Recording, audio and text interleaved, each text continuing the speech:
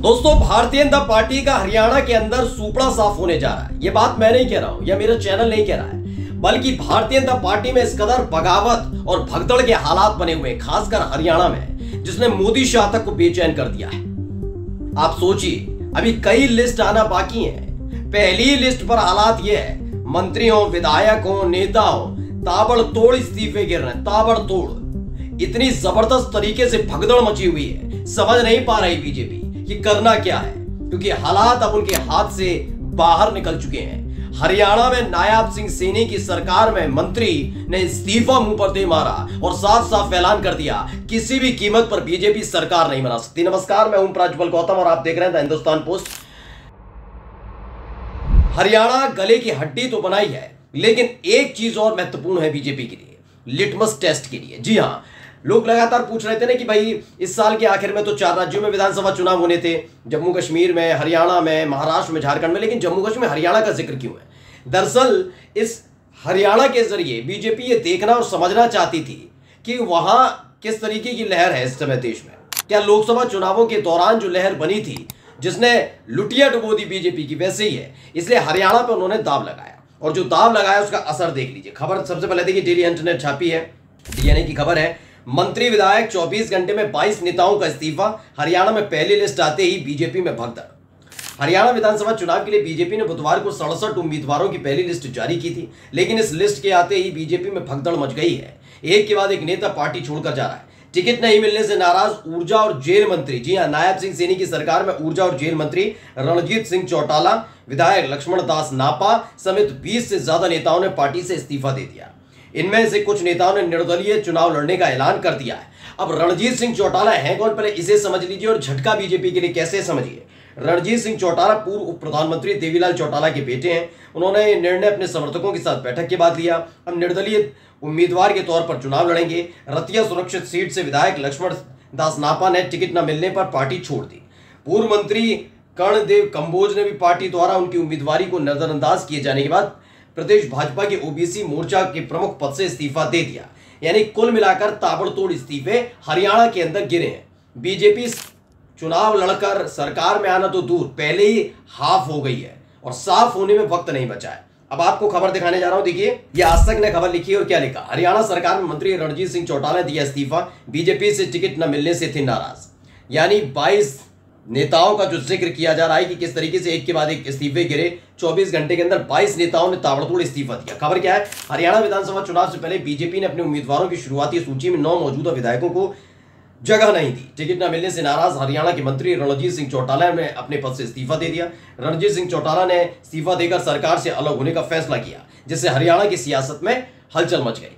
मैं पहले भी कहता रहा हूँ और आज भी कह रहा हूँ। दरअसल क्या है? बीजेपी के साथ और खासकर मोदी शाह जब से आए ये तय करते हैं कि कौन बुज़ुर्ग हो गया, कौन इनके मापदंड पर सही नहीं उतरा। मोदी प्रासंगिक है आज भी, लेकिन ये सारे के सारे जो नेता हैं, इनके सियासी जो करियर है, उसे खत्म करने की कोशिश की जाती रही है। ये पहली दफ़ा नहीं है। शिवराज सिंह चौहान, वसुंधरा राजे सिंधिया, उनको उनके करियर को खत्म करने की कोशिश हुई। वो था वो था। अलग है कि जनता ने इस बार अकल टिकाने लगाई तो शिवराज सिंह चौहान को फिर से सक्रिय राजनीति में लाना पड़ा। वसुंधरा राजे सिंधिया की मदद मांगनी पड़ी। फ़िलहाल ये करते रहते हैं। इसमें आगे खबर क्या है? रणजीत सिंह चौटाला ने अपने इस्तीफे की पुष्टि करते हुए कहा कि पार्टी द्वारा टिकट न देने के बाद उन्होंने एक कदम उठाया। इस बीच बीजेपी द्वारा मौजूदा नौ विधायकों को टिकट न देने के फैसले ने पार्टी के भीतर असंतोष को और बढ़ा दिया है। जानकारी के मुताबिक हरियाणा के मंत्री रणजीत सिंह चौटाला ने बीजेपी से टिकट न मिलने के बाद मंत्री पद से इस्तीफा दे दिया। उन्होंने नायब सिंह सैनी की कैबिनेट से इस्तीफा देकर घोषणा की कि उरानिया विधानसभा सीट से निर्दलीय प्रत्याशी के तौर पर चुनाव लड़ेंगे। मतलब पहले से ही इनके पास हालात खराब है। अब कुछ लोग इससे बहुत बड़ी रणनीति बताने की देखिए। टिकट नहीं दी। हम हम पे ये नेता हैं, हम नहीं आप पे फौज नहीं खड़ी होने के लिए। इनको डर है कि नेताओं की वजह से चुनाव ना हार जाए। हाँ बात ये नहीं है। जो ये करते रहे ना, मौज काटते रहे सारे के सारे, उसी का नतीजा है।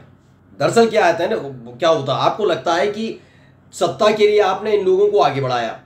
ठीक है ना?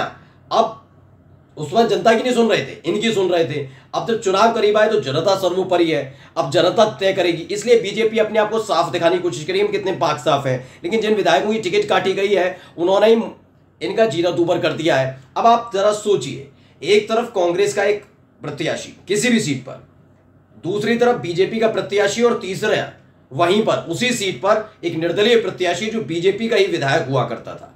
तो टिकट जो, वो कटेंगे वोट कटेंगे किसके? बीजेपी के कटेंगे। साफ़ तौर पर बीजेपी के दो हिस्सों में वोट कट जाएँगे और आराम से कांग्रेस की जीत सुनिश्चित हो जाएगी। यानी बीजेपी वैसे भी इस समय मैं कहने में कोई गुरेज नहीं अछूत सी हो गई है। बीजेपी छोड़ छोड़ कर लोगों का भागना ताबड़तोड़ इस्तीफे गिरना वो भी चुनाव से ठीक पहले ये बताता है बीजेपी में भगदड़ जैसे हालात है। अब देखिए एबीपी न्यूज़ ने खबर छापी क्या हरियाणा में तीसरी बार जीतेगी बीजेपी? रणजीत चौटाला ने की बड़ी भविष्यवाणी। क्या बताया ना, इनकी नाराज़गी क्या क्या है, पहले समझते चलिए। देखिए, मैंने कहा ना, इनका हक जो होता है कि मोदी शाह तय कर लेते हैं कौन चुनाव लड़ेगा, कौन नहीं। इसमें बताया गया है, मैं किसी के रेमो कर्म पर नहीं जीता। टिकट नहीं मिला तो आपने बीजेपी का साथ छोड़ दिया सवाल किया गया था रणजीत सिंह चौटाला तो उन्होंने कहा, मैं इस हाउस का सबसे पुराना मेंबर हूँ। मैं विधानसभा में निर्दलीय जीत कर आया, किसी पार्टी के करम से नहीं जीत कर आया हूँ। मेरा बीजेपी से रिश्ता सिर्फ़ तीन महीने पहले बना। हरियाणा में बीजेपी के हैट्रिक जीत के दावे पर उन्होंने कहा कि इस बार हरियाणा में बीजेपी चली गई तो दोबारा हरियाणा में बीजेपी नहीं आएगी। इस बार चली गई तो कभी नहीं आएगी। मतलब अब साफ़ साफ़ कह दिया गया है, इनकी तरफ़ से बड़ी भविष्यवाणी की गई। इसी से संबंधित एक और इन्होंने कहा, लोकसभा चुनाव में बीजेपी का एक सर्वे था कि रणजीत सिंह सबसे फॉर्मेडेबल कैंडिडेट है, मुझे टिकट दे दिया। और मैं चुनाव लड़ा। बीजेपी से सिर्फ़ इतना ही रिश्ता था। मैंने तब भी यही कहा था कि मैं विधानसभा चुनाव लड़ना चाह रहा हूँ। मैंने तो इस्तीफा देकर इनके लिए चुनाव लड़ा।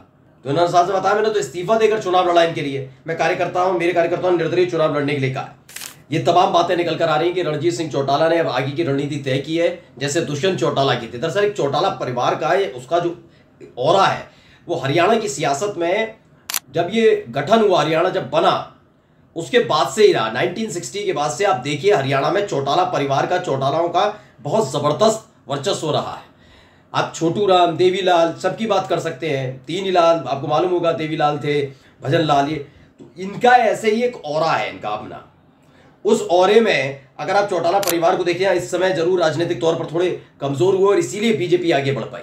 बीजेपी कदम इसीलिए वहाँ पर सेट कर पाई, इन्हीं की बदौलत था। शुरुआत में भी देखेंगे। अब क्या है, इनका क्या कहना है? क्या बीजेपी ने आपको धोखा दिया? क्या बीजेपी ने धोखा दिया? सवाल पर चौटाला ने कहा कि मैं ऐसे लफ्ज़ का इस्तेमाल नहीं करता हूँ। किसी ने मुझे धोखा दिया। किसी के लिए मैं गालियाँ निकालनी शुरू करूँगी मेरी आदत नहीं है। उन्होंने मुझ पर विश्वास नहीं किया और अपनी जगह पर वापस आ गया। यानी उन्होंने कहा कि मैंने बीजेपी के पास गया इसलिए था ना। देखिए ताकत ही बड़ी थी। इनका कहना था, मेरी वजह से ताकत ही तो बड़ी। कुल मिलाकर बीजेपी के लिए सबसे बड़ी टेंशन ये है कि नए प्रत्याशियों पर दाव लगाकर वो सिर्फ़ अपनी साख बचाने की कोशिश भर कर रहे हैं। लेकिन ये बात भी सच है। कि जिन नेताओं के दम पर वो चुनाव जीतते रहे, माहौल बनाया क्रिएट किया, अब उनको नज़रअंदाज करना, दरकिनार करना बीजेपी के लिए खतरे से खाली नहीं है। नमस्कार।